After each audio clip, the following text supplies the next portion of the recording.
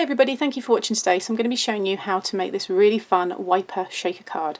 Now also in this video when I show you this card there's a lot of techniques so you may not be bothered by the wiper style but I'm going to be showing you how to heat emboss on acetate, how to use this lovely fluffy stuff to create this kind of faux wool effect and I'm also going to show you the mirror stamping technique. So this is this stamp, but I flipped it so you can have the two of them skating together. Really fun. But if you've not seen a wiper card before, you just pull the sides and up pops Bo Bear, who in this case is a polar bear because he can also be a brown bear. And I'll just show you the other examples of using this wiper set.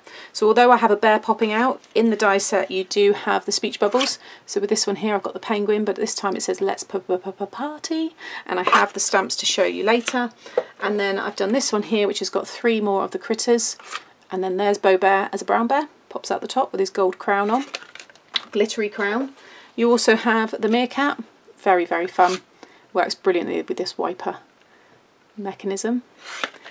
And then we have the Z fold. So those were all using the 5x7. This is using the 5x7 Z folds. You've got all the reindeer and then you have Rudolph with his red nose. All the little props, all of this all come in the different stamp sets and then you have the 6x6 wiper set. So here we've got all those lovely shiny balloons with Eve the elephant and then up pops her friend. So they're really really fun cards but like I said I made this one during a Facebook Live and I showed you a lot of techniques. So tips on how to get good shaker card results, like I said, the heat embossing, mirror image stamping, how to use all these different mediums. We've got glossy accents for the ice there, and then the fluffy stuff, and it's just a very fun card. And the backgrounds I also made using the mica powders during another Facebook Live. So enjoy this video. It's a little bit longer than usual, but hopefully you'll pick up lots of tips along the way. Okay, so I want to really focus on the techniques in this video, so I'm going to quickly show you the card as I put it together, but it's, it's very straightforward. So this is my 5x7 wiper die set. So for those of you that have it, and I'll share all the links below, but you get your main card shape here. So you want to die cut two of this main shape, and it will give you these two pieces here okay and then you have these two here so you'll want to die cut two or four depends if you want to cover the back I cut four and you'll see I've cut them in white and I've used them on these sides here and then I just cut these pieces so I had a matte layer to cover those as well. Now I do have other wiper cards on my channel so just check out the playlist that I'll share here to give you more inspiration. So you want to do like I said two or four and then this one here will give you your matte layer and you'll want to do two of those. I've done one in white. This is the back. So I've already prepared all of this. You don't need to see me stick it all down. You just stick the mats and layers into the panels and I'll show you how to fold that in a moment. But you'll see here I've just cut the one in the white and I'll show you the stamps in a moment. And then I've die cut another one in this gorgeous paper here and this is what I actually made again during a Facebook live and this is using mica powders and some gouache paint to create that snow. And I wanted to make a lot of backgrounds and use them in my up and coming Christmas cards and some samples that I'm going to be taking when I do my next launch. And I'm just really pleased with this and you can see the blue one that I created on this one here and you can see the silver running along the sides there. Just thought it looked really really nice. So I've gone for the green one today so choose your papers, your mats and layers, all that kind of stuff and then you'll also want to cut the mechanism, which is this one here. So it's this piece and it will emboss this score line here for this triangular part. And that's what I've already created here. So when you die cut it, you want to run, I've, I always use red tape because I just find it's just quick, it's good for me when I'm doing the tutorials. If you want to use liquid glue you can, but don't go to the edges because when you squeeze this you don't want the glue oozing out onto other parts of the card, it might interfere with the mechanism, but just die cut one of those. You've also got a really nice sentiment there, it says yay, it's your day, but because this is a Christmas card I've not needed to use that. And you also get the speech bubbles that you can have popping out. There is a smaller one which I have put down somewhere that needs to go in there, but you get those as well. Okay, so I've got my main matte layer here. Now I've also cut a, another piece of white, that same size, and this is what I'm going to use to create my frame. So on this one here, I've done it in silver, but this one I'm going to do white. So I have this die, which is from the Card Making Magic, and it's the rectangle nest of dies. I believe it's still sold out, but I'll share the link below because you can always send your, you can put your email up so that you'll be notified when it's next in stock. But it's really nice, you get the double stitching on this one as well. So if you want a measurement of this one, just for a guide, it is three and a half by, it's just under six. So I'm going to pop that in the middle here, and I'm just going to tack it in place and run that through my machine. Whenever I'm die cutting onto white, I always like to add a sheet of copy paper on the top. It will stop any of these markings on your top plate going through. And there could be some ink, you, you know, you, you, these plates pick up all kinds of bits and pieces from the dies and stamps that we run through them. So by just adding that sheet of copy paper, it just means that this stays nice and crisp and white and everything. But now I've got my aperture cut out of my frame. Okay, next I want some heat resist acetate. So I've got the Crafter's Companion here. You get a pack of 15 sheets, ideal for stamping and using on embossing or glittering. Perfect for card and box apertures, which is what we're going to be doing. So I'm going to grab you can, if you get your acetates mixed up, I find that you can kind of tell if it's a heat resist. It has a very, very slight blurriness to it, but it doesn't affect the, you know, you can see through it and everything, and it feels ever so slightly rough, but it's not. It's, it's hard to explain. When you have them, you'll know. You'll, you can feel the difference and you can slightly see the difference between a normal acetate and a heat resist acetate. So with this one here, I want to cut it so it's just smaller than this main white piece here. So I'm just going to lay it on the top. I know this is hard for you to see, but you just want to make it just slightly smaller than this white frame. So whatever size you've got.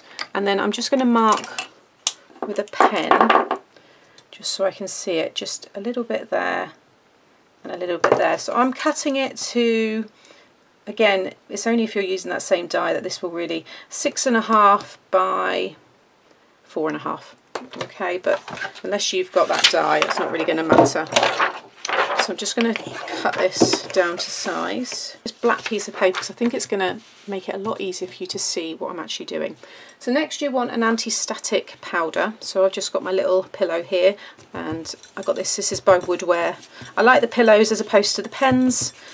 I've just always had these. I used the pen once, I didn't really get on with it. So, But give it a really, really good covering of that powder and then I like to rub it on my fingers as well. If you're anyone like me and you use hand cream and oils on your fingers, I'm always doing my nails, you will, you know, this grease will transfer onto here. So I just give them a really, really good covering. It will make all the different difference because now when I hit, you know, and pick up the sides here, I'm not going to leave any marks and the powder's not going to stick to those areas. So that's all ready. Now the stamp I'm going to use is the same one that I used before, but I'm going to position it slightly more to the left than I did on the other one. So this is, again, this is old. I use this, I think I've had it two years now. And I know lots of you have it as well because it's just a good all-rounder. They're really nice. You get Merry Christmas, Happy Christmas and Season's Greetings and it's by Woodware and it's the Clear Magic Big Christmas Words.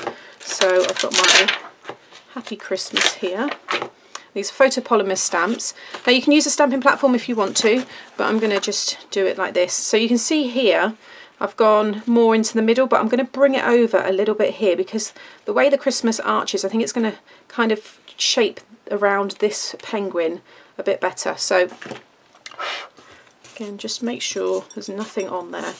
So I'm just popping it onto my acrylic block and I'm using my Versamark there. And then with the frame, I'm going to sit this over the acetate and now I can see where I want to position my sentiment. Now I have already cut, coloured and everything and I've done my mirrored one but I'm going to do it again to show you. But these are my two penguins here. So they're going to be towards this side. And I know this sentiment fits because obviously I've used it on the other card. But if you kind of position everything roughly where you want it and then I can see now, I think by having it more over this side it just kind of like I said it just wraps around that penguin a little bit better so I'm happy that that's all going to fit so I'm going to leave it all there because it's not going to affect me stamping. But give that a really good inking. And obviously this will slide. So you do just want to place it down just tap it lightly. Like I said if you would prefer using the platform then do so. But I did do it freehand during the live so I'm going to do that. Just making sure the happy is nice and kind of parallel with that frame. And then just sit that down. It kind of does stick. And then just make sure I can lift this all off and I can see there you can just about make it out when I catch it in the light but that's transferred really nicely. So next I can pop my embossing powder. So I'm using this one here, which is Cosmic Shimmer. It's the Detail embossing powder. It's a new one that I picked up in terms of the size. They've done this one for a long time, but I knew I'm going to be doing a lot of embossing over Christmas, so I just got myself that bigger one. But I think when I shared it on my What Did I Get, I then saw it had been sold out, so I think quite a few of you have picked it up. But there'll be other sellers that sell Cosmic Shimmer.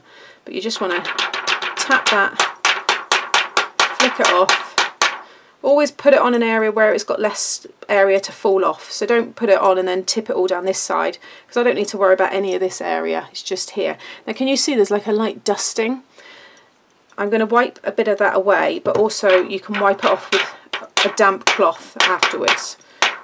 You won't get it with all embossing powders but I think because this is such a fine powder I noticed it with this one but that's like I said it's not a bad thing. I'm actually just going to pop this all back in here and then I'm just going to take away any excess with a brush. Do it as close as you can without interfering. And you can just also use your little buddy again, like so and now that is ready for me to heat set. This is when the magic happens. So with any, whenever you do any heat embossing, make sure your heat gun warms up. You want to keep it going for a good 30 seconds before you actually start embossing start heat embossing because the less time this has on the paper or the acetate the less warping you will get so it really is a good idea to just let it stay on for a minute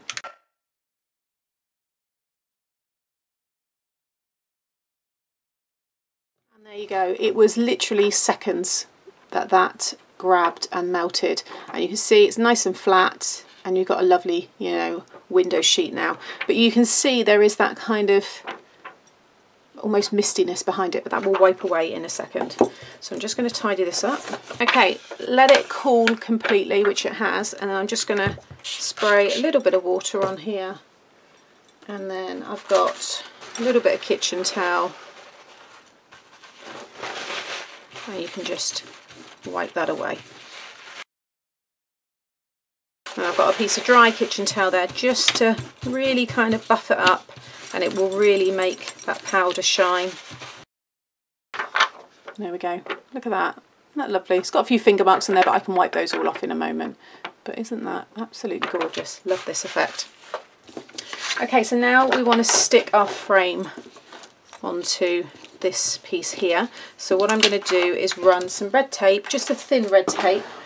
I do find these ones really handy. I got them from Crafter's Companion. You get a lot on the roll there. When you buy your red tapes, look for the ones that have a smaller white ring in the middle. The smaller the ring, you're actually getting a lot more tape. So although the overall size is small, you're getting considerably more than you do on the rolls that have a big white ring in the centre. I used to buy them and I didn't really take no notice and then I started looking at it and I thought actually you want to be getting the ones with the smaller inner ring. Okay, I'm going to bring in this black piece of cardstock. It's actually helping me see it better as well. So yeah, you want a darker surface I think so you can see things better. So I'm just going to run this around the frame. And then I'm just going to turn my frame over and stick it from the back. I think it's a lot easier and you can really make sure you get your sentiment where you want it then as well. So now I've got my window there ready to put onto my card. Then that piece now is going to sit behind and you'll see that lovely sentiment catching the light and we're going to fill this with our artificial snow. So I want to now go around the frame with some foam tape. Now I've run out of my silicone foam, foam tape but when that happens I then do my own strips. So I basically use, this is just wax paper, grease it up for a pound, very, very inexpensive. And then I use my actual foam tape here. Again, I pick these up from the pound shop. I don't buy expensive ones. And you just run a strip, just cut a bit of that paper away. Just run a strip down here. And now you can cut this to any width you like and it won't damage your scissors. So I'm going to just cut them in half because that's plenty. That'll fit within that frame. Like so. And then you can just peel the backing off of the top. Like so. Just do a bit at a time and now you can just start to run that around your frame. And then when you cut, cut on top of that you know, this piece again so you're not damaging your scissors. Again, then just take the backing off and then when you're applying your foam, you want to make sure you butt it up at some point to the other one so they, you know, any of your little beads and things like that that you stick inside, they're not going to fall out. So again,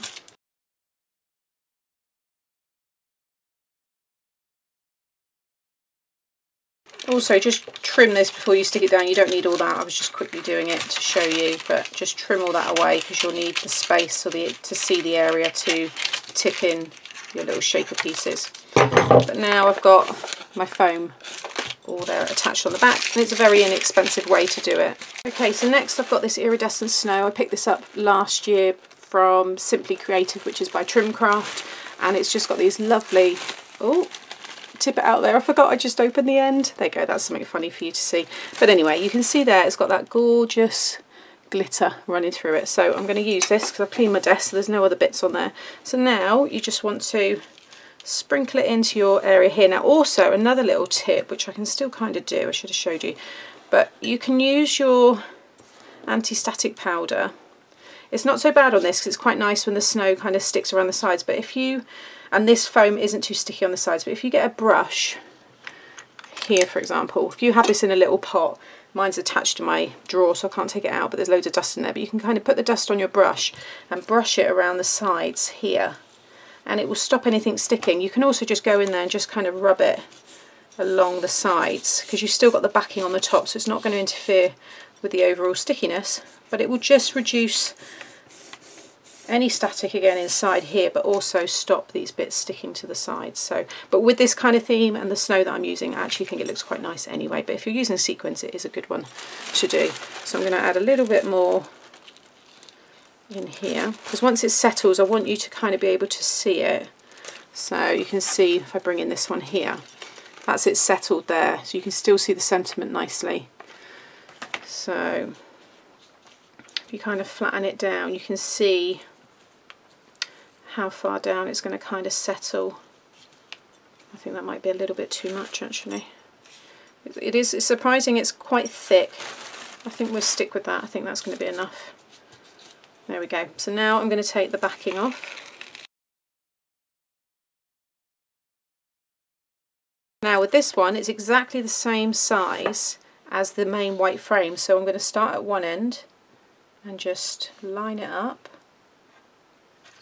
and then just kind of roll it along until it all seals inside. So now, yeah, that's perfect. So you get that nice settling of snow, but obviously look, it all moves around as well. So whoever gets it, they can shake it up. But I do want it to just settle nicely there. I think that looks really cool. So that's the shaker part done. So hopefully you've picked up a few tips, you know, how to do that. So think now we'll put the card together and then I'm going to show you the mirror stamping and that lovely fluffy stuff. So you would have die cut these two and you've got these score lines. So what you want to do is with the first one is you're going to create a valley fold and then a mountain fold. And you'll do that on both of the pieces, as you can see there. And then you're going to have one, but this one I'm going to keep that way, and one will go that way. And that's how they're going to stick together. So you can see my back's already there and then this is the front which we will stick this piece onto. So I'm going to grab my Collall glue and you just want to add your glue just on one of these. I always put my mechanism in once it's all together. I find it the easiest way to do it but on that playlist I do show you some other ways as well so find which one works best for you. So now you just line this up with the edge here. And obviously it's all been die cut so everything is nice and straight and it all marries up nicely. And then I'm going to fold that one over and then you want to add your glue to this outer rectangle on the one below. And then you're going to fold that in and fold that down. And when this is flat, that is the 5 by 7 card shape size so that will now fit inside your envelope you can just see that's why I like using the liquid glue because you can line everything up okay and then I'm also now going to stick this one on top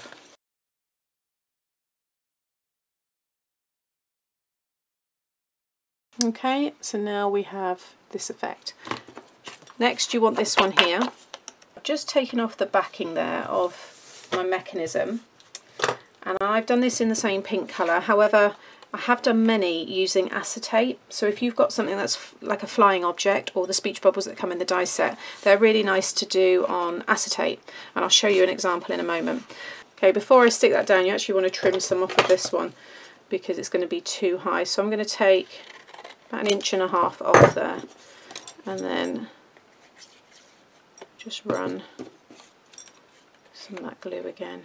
Just stick him on top like so you might also yeah just fold that over and then you pop this one in and you want to line up the side of this with that fold just in here and just bring it down until the top of the neck's just covered and just push down on that triangle piece and then when you close the card he will or she is completely concealed inside and then pops up.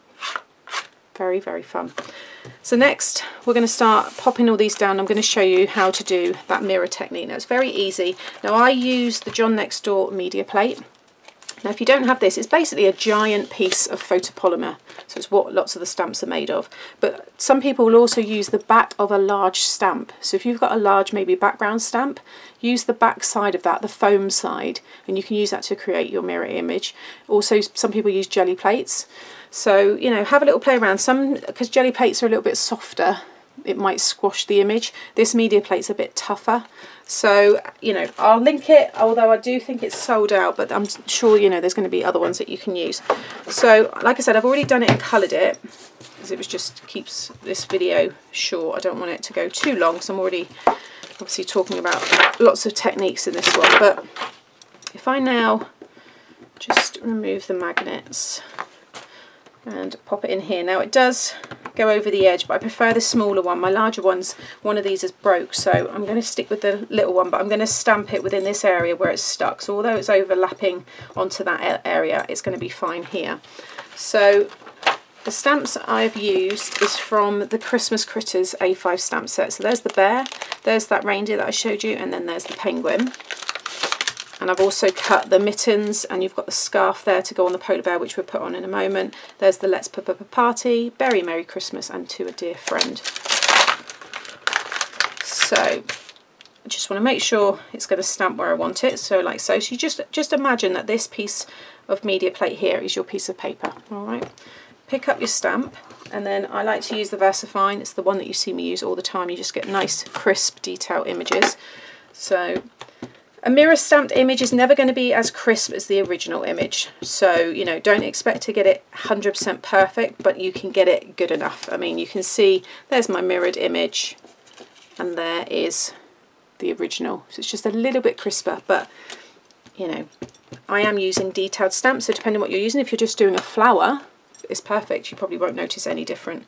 So now when you lay it down, don't go and push because you're, you're pushing two soft kind of materials together. You just want to do light little taps because you can always lift this and go back in again. So I would say if you're doing the mirror technique, a stamping platform is going to really help because if you don't get a good impression first time round, trying to line it up is pretty difficult.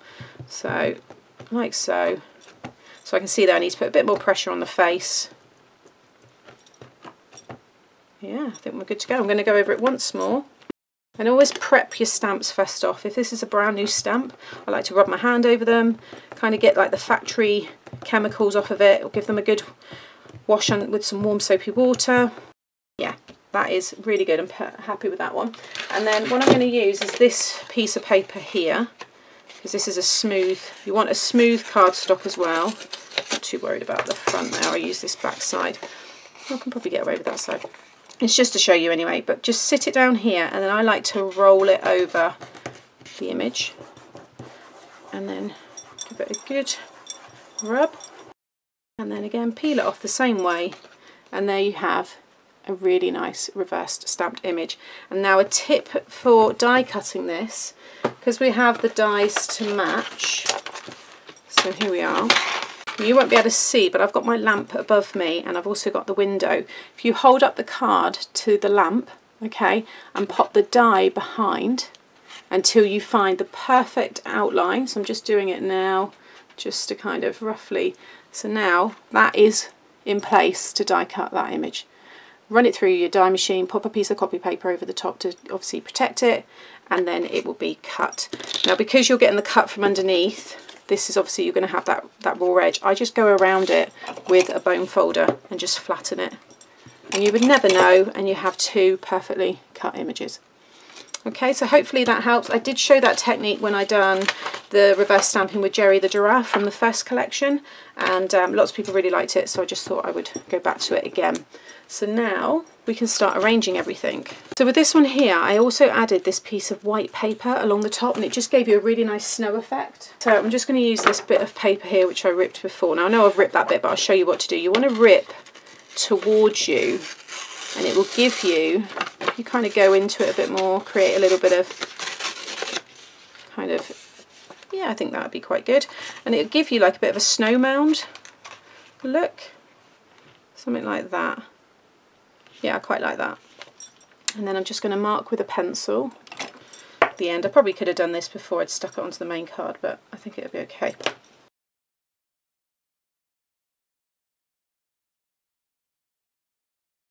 So I know I've got the white square frame there. Some of you might be thinking, well, you've already got a white frame, but I don't know. There's something about it. I just think it, it looked nice.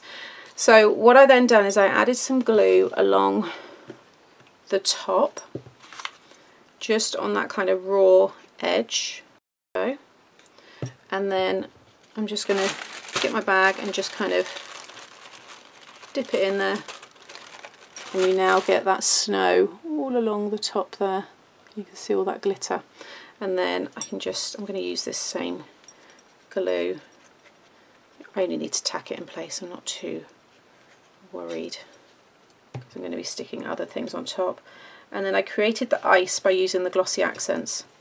So there is a lot on this card, which is why I wanted to just spend a bit more time. So hopefully you'll take away lots of tips and techniques. So even if you're not making this actual kinetic style, you can, you know, create this on other cards. But can you see there's like a glossy accent? So it gives the look of water or ice in this case. And I'll add that on once I've stuck these down. So I'm going to use some foam pads. So I'm just going to pop a couple on there and then I'm going to stick like so. And I'm going to add a little heart where their hands are. And then I've got the one present which is just going to go on the edge there. And then I've also got I call the bear Bo. He's called Bo Bear. Or she. And then the hat Again, whatever you add, make sure it's going to close. So you can see that I know it is because I've done this before. But you don't want it to obviously catch on this bit here. But there's that. And then also I've got the scarf. So I'm just going to pop a little bit of glue just around, actually it didn't need to be on that end bit, but just around the neck. And this will fit. You don't really see it, but it's there. It's there for anybody who really does look at the card. There we go, just see it poking out the top. And then I've also got the mittens. Now I didn't add these before, but you can have them obviously if you imagine the one with both of them on they look quite cute so I think I'm going to just put them on the outside ones obviously you can use any size heart but I just took the one from my my slider die set so I'm just going to die cut that one. Okay so that's stuck down. I've realized I forgot to show you the fluffy stuff because you want to do it before you attach your images because you're going to be applying a lot of heat. So I'm going to show you on this little stamped image here. So this is what it is cosmic shimmer fluffy stuff okay? And all I'm going to do is just goes on like a paint really like a thick white paint. The, the thicker you do it the bigger the kind of fluffiness you're going to get. But I'm going to just do it on the actual pom-pom there on the hat and on the the rim of the hat there as well. Okay, so I'll just bring that up so you can see where I've just covered it. I'm going to let this warm up.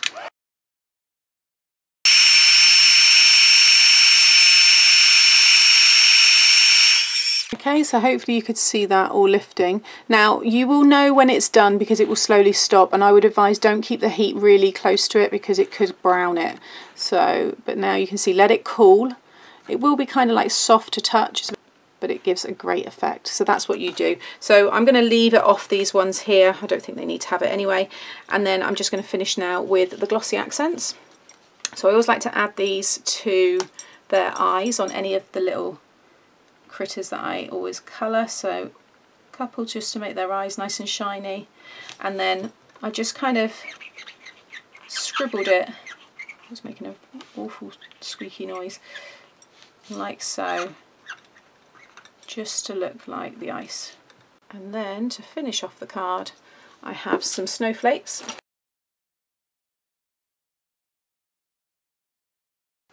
And I've also just added some glossy accents on the heart there but you can see the snowflakes. So there is a lot of technique a lot of texture and movement to this card and I think it's turned out brilliantly.